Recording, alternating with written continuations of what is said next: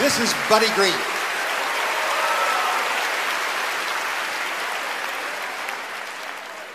There are a lot of folks, Buddy, who look at that fine little instrument that you play and say, So what?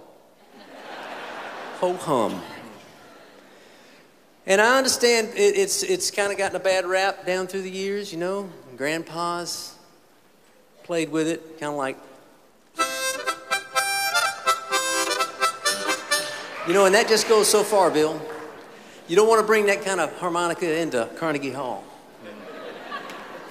Now's the time to get sophisticated. And Bill, I've been waiting for this moment all my life. So just help me make the most of it. Just back up just a little bit, stay perfectly still here.